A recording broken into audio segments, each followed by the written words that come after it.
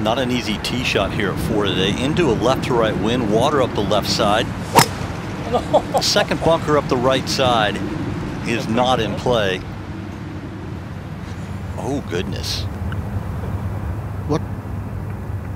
Wait a minute. I, I mean, I saw the sw- I saw the swing, and then I'm looking for the ball. Are you kidding me? He has lost it back on the TJ.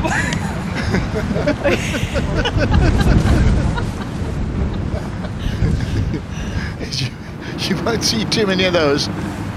He couldn't even do that as a oh. trick shot. You know, I thought maybe he'd skied it, but it's just an out and out duff. I think it might be a bit of both, It's about Tony. five inches behind it. You know, what can you do? Just it's a mechanical failure. It happens. You just got to laugh about it. And this is the second shot after Lorenzo Vera's unorthodox layup, Jay. I have no yardage from here. I've got nothing. Sorry. I, I think it's just the yardage of whatever the hole plays from the forward tees. Yes, that's not in my yardage book now. it's been a while since you played the forward tees, Jay. To watch another DP World Tour video, click here, and to subscribe, click here.